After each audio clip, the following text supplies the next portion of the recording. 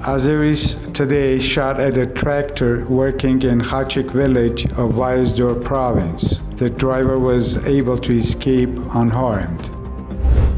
We condemn the violence that caused the death of an Armenian civilian. We urge Armenia and Azerbaijan to intensify their engagement, including for the Minsk Group co-chairs, to resolve all outstanding issues related to or resulting from the Nagorno-Karabakh conflict. U.S. Department of State's Europe and Eurasia Bureau said in a tweet today.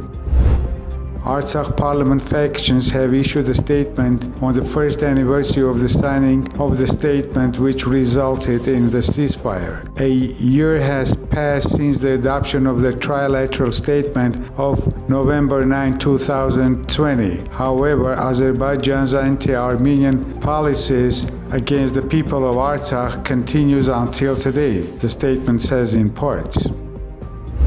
Russian and French ministers of foreign affairs and defense are set to discuss the Armenian Azerbaijani escalation, among other issues, at their meeting on November 12.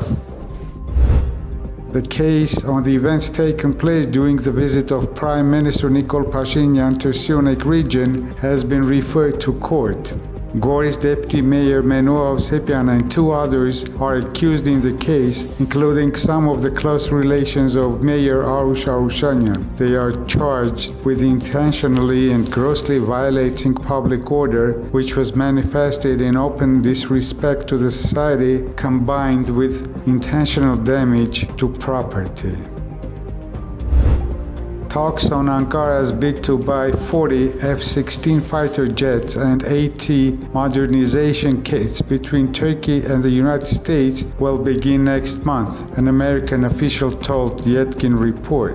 The official said that talks over the F-16 are separate from the F-35 on legal and technical grounds, as the return of Turkey to the F-35 program is no longer a subject of negotiations.